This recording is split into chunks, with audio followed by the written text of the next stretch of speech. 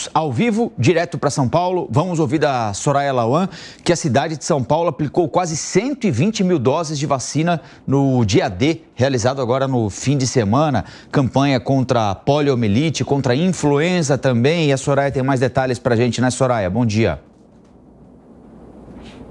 Oi, Colombo, bom dia para você também, bom dia a todos. De acordo com o balanço né, da Secretaria Municipal da Saúde, foram aplicadas 119.091 doses de vacina contra a poliomielite, também multivacinação. Esse dia D, como você disse, a ação que aconteceu no último final de semana eh, em todas as unidades básicas de saúde da capital, abrangendo então eh, imunizantes contra a poliomielite, contra a influenza, né, a gripe, também Covid, por exemplo. Mais de de 35% das vacinas contra a poliomielite aplicadas desde o início da campanha, que aconteceu no dia 8, então, portanto, nesse dia D, foi de poliomielite. Então, só de polio foram aplicadas 34.202 doses. A campanha de combate à polio, a gente lembra, teve início no último dia 27 de maio e já contabiliza 90.875 doses aplicadas. Em 2023, a cobertura vacinal contra a polio aqui na capital foi de 90,67%.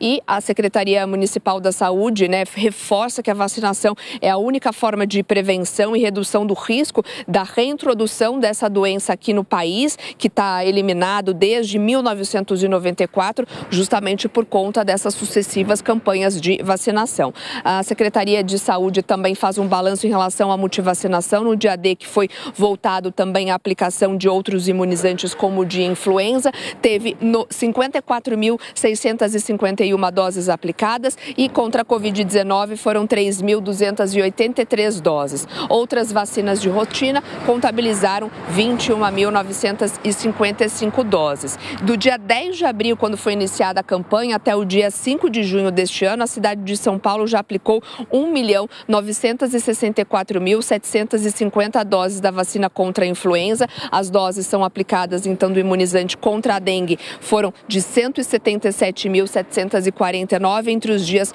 4 de abril e 6 de junho. O coordenador de Vigilância em Saúde eh, faz né, um alerta, um balanço também, eh, diz que a mobilização das equipes para o dia D é muito importante justamente para elevar a cobertura vacinal e ações como essa, né, de ações, por exemplo, que juntam no sábado, ficam eh, as UBSs todas abertas, contribuem para a elevação da cobertura vacinal em praticamente todos os imunizantes que são oferecidos pelo PNI, o Programa Nacional de Imunização do Ministério da Saúde, em um desempenho aí que reitera o título de São Paulo como a capital mundial da vacina.